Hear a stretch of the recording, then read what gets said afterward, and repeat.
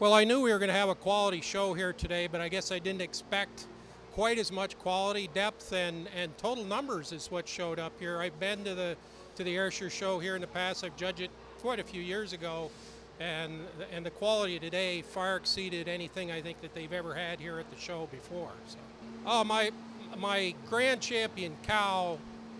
I think is nearly flawless. She's not a big cow. There'll be bigger cows when she gets on to larger shows, but great length of neck, tremendous dairy quality, a beautiful udder under, a cow that moves very well, and the kind of cow I think that can stand in any environment and, and excel. And I think that's maybe what we need to be looking more for when we're judging these shows is those kind of cows rather than the cows that need to be pampered every day.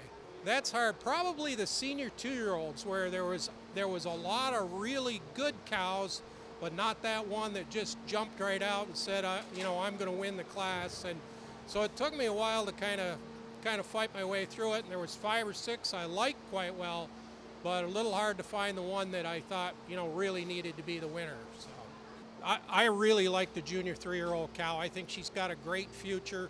As you break her down, tremendous udder, great feet and legs, very open frame. She's got those veins that come up under her skin on the on, on the side of her frame. Um, I think she's just got a great future ahead of her. Well, to start with, I'd like to thank Arnie Nieneman for helping me in the ring. He did a great job. People always talk about the judge was show, fast, the judge was slow.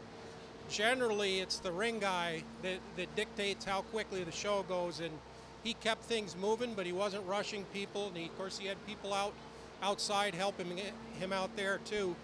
Uh, Richard Caverly asked me a couple years ago if I would judge this show, and I don't do lot, as much judging as I used to, and, and, and some of that, there's a lot of different reasons why, but I, you know, I thought back about my history with Ayrshire's and my dad's love for Ayrshire's, and I thought, gee, if I could judge that show, I think it'd be a really great thing. So I'd, I'd like to thank Richard, and then I'd like to thank all the exhibitors for voting for me or asking me to come and judge the show.